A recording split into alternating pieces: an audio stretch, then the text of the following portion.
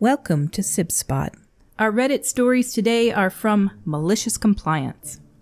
Story 1 is by Frost Dragon 57, and it sounds like a story that just came out of Texas, honestly, because, you know, F human rights and everything. I'm not authorized to go get a water? All right. Now, before I start, here's a bit of context for the situation. I work in the boat industry as an engine tech and parts painter. I know, quite a broad range right there. Anyway, the company I work for is quite old, and the building I work in is even older. The heating system is trash, and we really lack anything in the way of air conditioning. It's boiling outside right now. Earlier today, I had started overheating really quickly as the temperature rose in the building. I have a medical condition where my body can't regulate temperature well, meaning I'm at the risk of passing out. I was going to get a bottle of water from the fridge to help me cool down when I was stopped by one of the company's managers. Let's call him Kyle for this story. Kyle, where are you going? Me, I was only going to get some water. Kyle, you're supposed to be working right now. You can get the water during the coffee break. Me, I, I, I don't think you understand that I can actually be in danger from this heat right now. So, could I please go get one bottle of water? Kyle, no. You're not authorized to leave your work before the clock strikes. Now shut up and get back to work. Me, roger that. Keep in mind that this conversation was held in front of my coworkers. Cue malicious compliance. I got back to work, making sure to put on some extra coal just to make sure I made up for lost time. Basically, I was forcing my body into shock, and heat stroke was just around the corner. Fast forward about 30 minutes. I had to tell my coworkers through my strained breath that I don't feel too good. Which was actually even worse now, as I was working on deck of one of these boats, give or take three meters above the floor. When I made my way towards the ladder to climb down, I only got out a very strained, oh, crap and I fell off the back and was headed straight for the concrete floor below me. Luckily for me, some coworkers reacted fast enough and managed to catch me before my head was splat open on the floor. I woke up in an ambulance about an hour later. The EMTs were checking my vitals and were actually helping me. My boss came up to the door and asked me what happened. I told him exactly as I told you guys, and I also told him to check with my coworkers if he didn't believe me. Long story boring. I was brought to the hospital for a checkup just to make sure I didn't actually suffer any kind of trauma from the fall. A buddy of mine came with me to make sure I got there and back safely. A few hours passed and my buddy got a call. He picked up and it was Kyle. My buddy handed me the phone and I heard Kyle on the other end apologizing for actually almost getting me killed. The short version is that he was heavily reprimanded for what he told me and was put on watch. Didn't lose his position though, so I guess I didn't fully win. But he was liable for the medical compensation for my situation. I did forgive him, and just to rub it in a bit, I had to ask him, Am I authorized to get water next time? And my buddy just laughed. Recently in Texas, there was something that changed in the law and that they basically took away people's water breaks. And it's one of the states in the country where people die the most from heat exhaustion and lack of water. So it's kind of mind boggling that somebody would do that, but it happened. At this rate, we'll be in the Stone Age in probably another hundred years. We're going backwards. Our next story is by No Language 7256 How I Managed My First Micromanager. Back in 2010, I was working in a training management area within a government department. The job was fairly easy for me. When my original supervisor went on extended leave, I got a new supervisor that we will call Agatha. Almost immediately, Agatha started to micromanage me even though she didn't really know my job that well, or even half of what my role entailed. Now, I will say that I didn't particularly like Agatha as a person, but I tried to get along with her, even when her management style started to show. In hindsight, I should have worked some internal politics to be removed from the area no one said I was smart at 19. The section started to have some underlying tension until one day she called me into a meeting and, long convo cut short, she said the magic words You need to do what I tell you to do and not what you think you need to do. She even followed it up by emailing me words to the same effect. Now, I did two things on the heels of that meeting. Firstly, I printed out the email to keep in my bag, drawer, pocket, and on my wall. Secondly, I started to do what she said, and only what she said. At first, she would just tell me the jobs that needed completing, but she only got worse when she noticed the work wasn't getting done and started to tell me how to do things. Again, I complied and only did exactly what she told me and how she told me to do it. If she missed a step in her instructions, I would either skip it, if I could move on, or ask her to explain it again as I couldn't figure it out. I was a darned good employee. I even went out of my way to start asking her what I should be doing and how, after every task. If she wasn't in the area, which was very common, I would wait for her to come back. If she wanted to micromanage me, I would make her work for it. She was getting nothing done. We were getting further and further behind.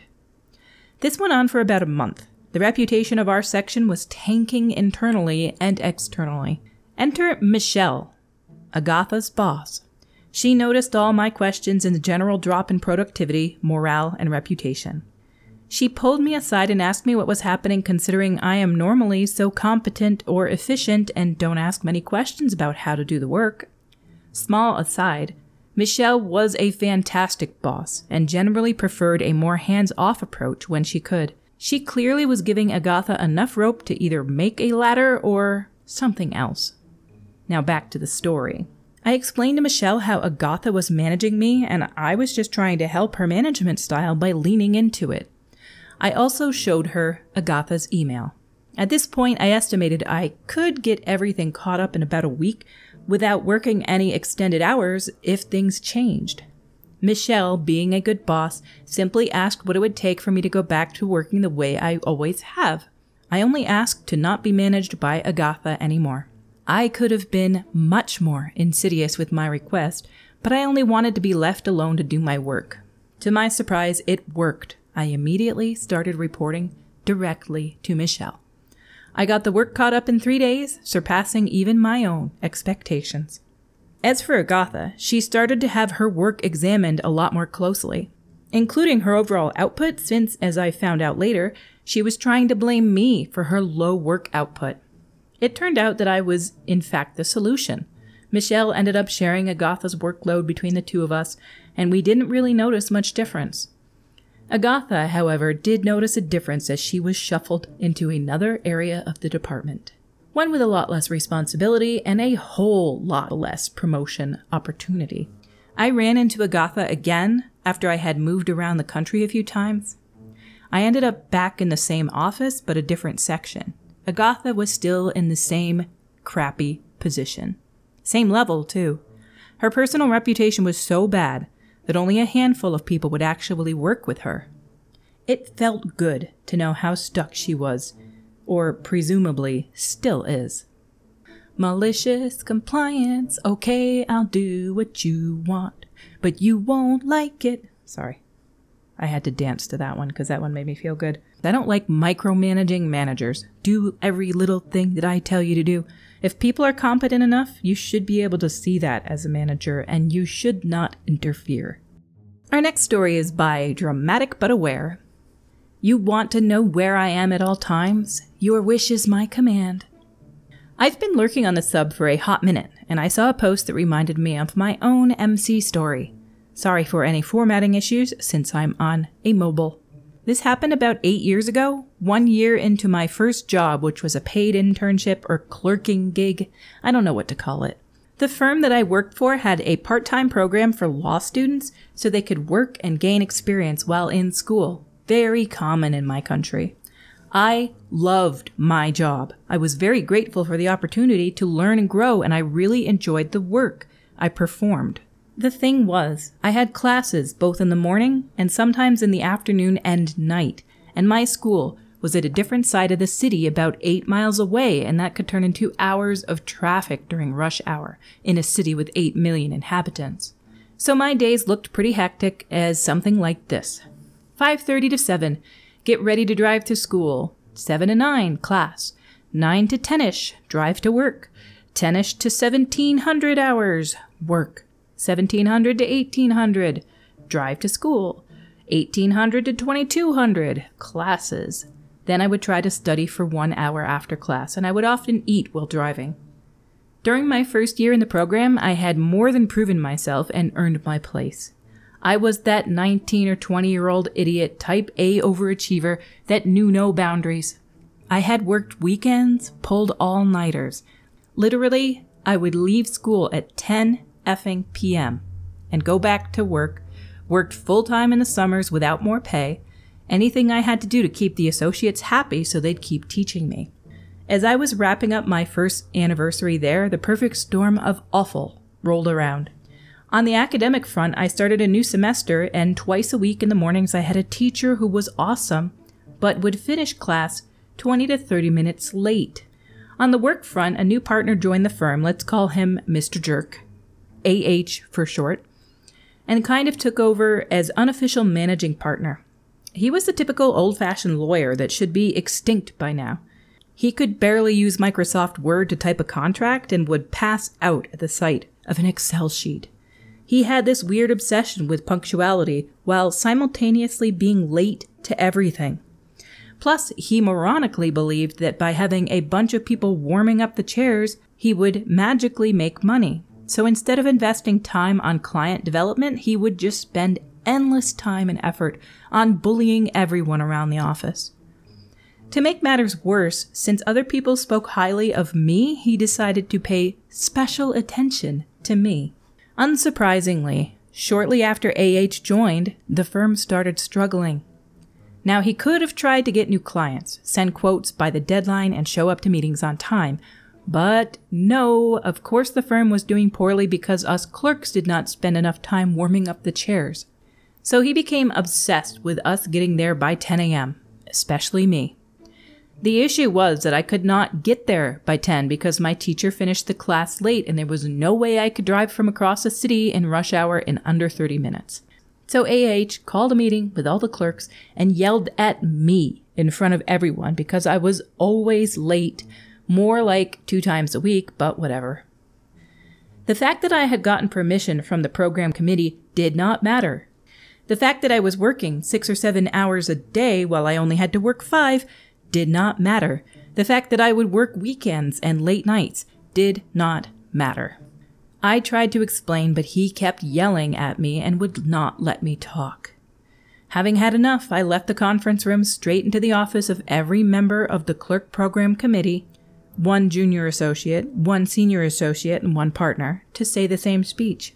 I am late because I have class. I have proven my commitment to the firm, but my education is important too, if 30 minutes late twice a week is too big of an issue, then feel free to fire me, but I am not leaving class early. Then I went to my desk to do my work. I guess the committee informed other partners and word got around what was going on. Small firm. Because as I was getting ready to leave for school, AH came fuming to my desk and told me, I know you are lying. From now on, I want to know where you are at all times and if I catch that you were slacking off or lying, you are fired, and I will make sure no one will ever hire you. So, cue malicious compliance. The next day I woke up extra early, 5 a.m. sharp, took a timestamp photo, and sent it to both his email and phone, since I could not risk him not getting it and him not knowing where I was. I sent a timestamp photo every five minutes captioning what I was doing like I was my own personal social media platform of one follower. The cherry on top was that my teacher had worked with AH in the past and obviously did not like him very much. So he let me take photos during the class and diligently sent them to AH. I even went as far as taking a photo of the toilet door with the peeing and then at the end of the toilet flushing, all done while driving, since traffic was really slow, I would send a photo and include how much I had moved during that time. Sometimes it was something absurd like a hundred feet. As soon as I sent a photo of me at my desk, he shows up saying that he got the point and I could stop. A couple weeks later, he simply stopped bugging people and started working from home or locking himself up in his office. My guess is I was not the only one to complain, and the other partner realized how dangerous he could be for the firm and asked him to back off. Some people, as managers, are overachievers, and they just can't let you be. Anyway, anyway, anyway, we've come to the end of another episode. Until we meet again, have a spiffing day.